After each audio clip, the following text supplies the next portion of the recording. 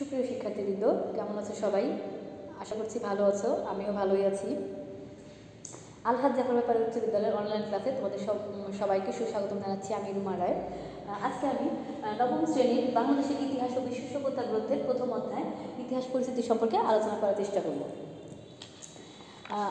শিক্ষার্থীবৃন্দ, আমরা জানি যে আমাদের উনিশশো একাত্তর খ্রিস্টাব্দে আমাদের দেশে মুক্তিযুদ্ধ হয়েছিল। নয় মাস পাকিস্তানি সেনা বাহিনীর বিরুদ্ধে প্রাণপণ লড়াই করে ষোলোই ডিসেম্বর আমাদের দেশ শত্রুমুক্ত হয়। আমাদের মুক্তিযুদ্ধ হচ্ছে আমাদের গর্বের, আমাদের গৌরবের কাহিনী। বাঙালি জাতির প্রথম অনেক গৌরবের কাহিনী আছে যে সব জানতে হলে ইতিহাস পড়তে হবে, ইতিহাসের চর্চা করতে হবে। ইতিহাস সত্য ঘটনা উপস্থাপন করে করে থাকে। ইতিহাসে ধারাবাহিক ঘটনার ধারাবাহিক ও সত্যনিষ্ঠ বর্ণনা থাকে। ইতিহাস সম্পর্কে গভীর অনুসন্ধান করতে হলে ইতিহাসের উপাদান প্রকারভেদ সম্পর্কে অবহিত হতে হবে। এজন্য আগে আমাদের জানতে হবে যে ইতিহাস কি? জানতে হবে ইতিহাস কত ধরনের ইতিহাস লেখা হয়েছে লেখা যায় বা ইতিহাস কত ধরনের হয়, ইতিহাস পাঠের প্রয়োজনে বা প্রয়োজনীয়তাই বা কেন? এই অধ্যায়ে এইসব বিষয় নিয়ে আমরা আলোচনা করার চেষ্টা করব। সুপ্রিয় শিক্ষার্থীবৃন্দ, আমরা প্রথমেই জানি যে ইতিহাস এবং ঐতিহ্যের ধারণাটা কী। প্রথমে আমরা ইতিহাস শব্দটির উৎপত্তি সম্পর্কে জান- জানার চেষ্টা করব। ইতিহাস ইতিহাস শব্দটির উৎপত্তি হচ্ছে ইতি শব্দ থেকে, যার অর্থ হচ্ছে ঐতিহ্য। তাহলে আসো আমরা ঐতিহ্য শব্দের অর্থ জানা- জানার চেষ্টা করি ঐতিহ্য বলতে আমরা কী বুঝি? ঐতিহ্য হচ্ছে অতীতের অভ্যাস, শিক্ষা, ভাষা, শিল্প, সাহিত্য, সংস্কৃতি যা ভবিষ্যতের জন্য সংরক্ষিত থাকে। এই ঐতিহ্যকে এক প্রজন্ম থেকে আর এক প্রজন্মের কাছে পৌঁছে দেওয়া হলো ইতিহাস। এ বিষয়ে ইয়ে ইস্কারের মতে ভাষা তার ভাষায় বলা যায় যে ইতিহাস হলো বর্তমান ও অতীতের মধ্যে এক ধরনের অন্তহীন সংলাপ। বর্তমানের সকল বিষয়ে অতীতের ক্রমবিবর্তন ও অতীতের ঐতিহ্যের উপর ভিত্তি করে গড়ে উঠেছে। আর অতীতের ক্রমবিবর্তন ও ঐতিহ্যের বস্তুনিষ্ঠ বিবরণী হলো ইতিহাস। তবে এখন বর্তমান সময়েরও ইতিহাস লেখা হয়ে থাকে, যাকে সাম্প্রতিক ইতিহাস বলা হয়ে থাকে। সুতরাং এখন ইতিহাসের পরিসরও সুদূর সুদূর অতীত থেকে বর্তমান বিরাজমান বর্তমান পর্যন্ত বিস্তৃত। এরপর জানা যায়, ইতিহাস শব্দের শব্দটি সন্ধি বিচ্ছেদ করলে কী দাঁড়ায়? ইতি যোগ আস। যার অর্থ ছিল যার অর্থ এমনই ছিল বা এ- এম- আহ, এরূপ কিছু ঘটেছিল। ঐতিহাসিক ডক্টর জনসন ঘটে যাওয়া ঘটনাকে ইতিহাস বলে অভিহিত করেছেন। তার মতে যা কিছু ঘটে তাই হলো ইতিহাস।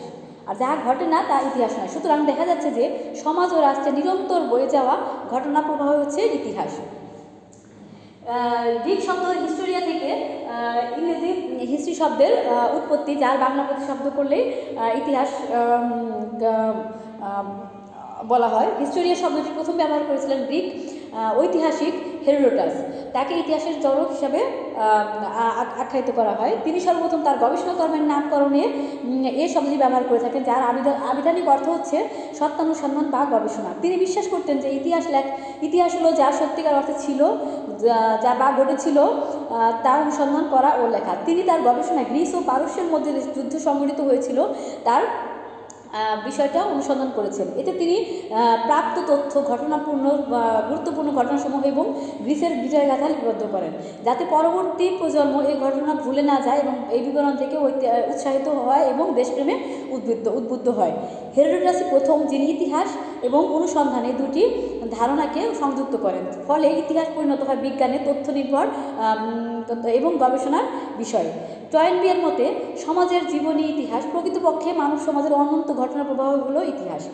আবার র্যাপসন বলেন যে ইতিহাস হলো ঘটনার বৈজ্ঞানিক ও ধারাবাহিক বর্ণনা।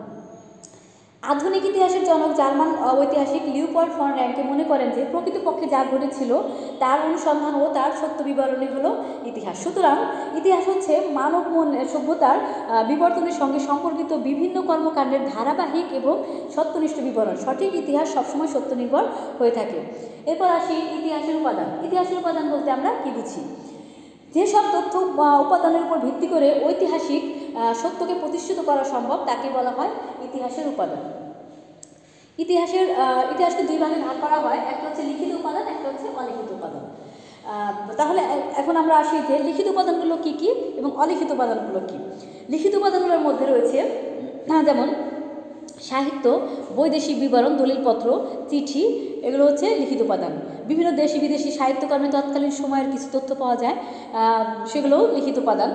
যেমন বেদ কটিল্লোর অর্থশাস্ত্র কলহনের রাস্তরঙ্গিনী, মিনহাজুল সিরাজের তবগাতি নাসিরি, আবুল ফজলের আইনি আকবরী ইত্যাদি।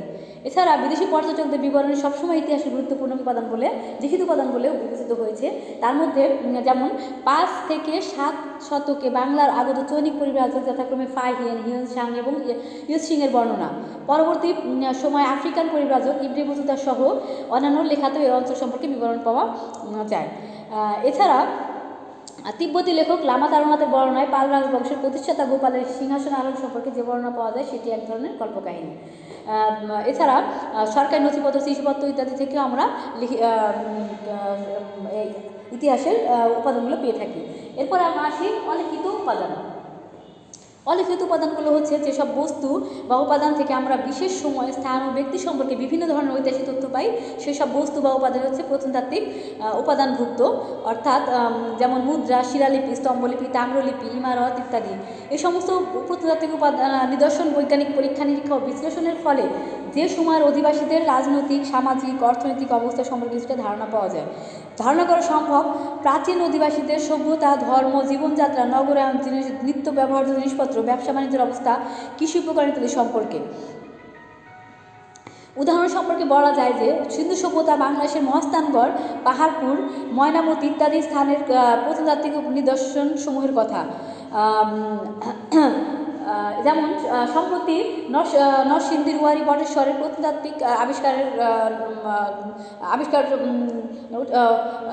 ওয়ারি বটেশ্বরের প্রত্নতাত্ত্বিক আবিষ্কার। ওই অঞ্চলের প্রত্নতাত্ত্বিক নিদর্শনে প্রমাণিত হয়েছে যে বাংলাদেশে আড়াই হাজার বছর পূর্বের নগর সভ্যতার অস্তিত্ব ছিল। এই আবিষ্কারের ফলে বাংলার প্রাচীন সভ্যতার নবদিগন্ত উন্মোচিত হতে যাচ্ছে, বদলে যাচ্ছে বাংলার প্রাচীন সভ্যতা সম্পর্কে অনেক ধারণা। অদূর ভবিষ্যতে নতুন করে লিখতে হবে বাংলার প্রাচীন ইতিহাস। সুপ্রিয় শিক্ষার্থীবৃন্দ, আজকে আমরা এই পর্যন্তই পড়ার চেষ্টা করলাম। ইতিহাস এবং ঐতিহ্যের ধারণা ইতিহাসের উপাদানগুলো সম্পর্কে আমরা জানার চেষ্টা করলাম। আশা করছি তোমরা বাসায় ভালো করে পড়বে বাসায় থাকবে, ভালো মতো নিজের যত্ন নেবে, সুস্থ থাকো। ধন্যবাদ তোমাদের সবাইকে।